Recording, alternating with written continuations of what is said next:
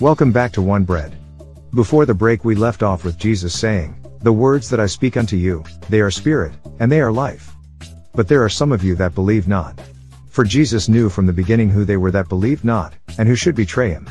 And he said, Therefore said I unto you, that no man can come unto me, except it were given unto him of my Father.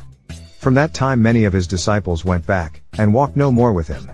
Then said Jesus unto the twelve, Will ye also go away?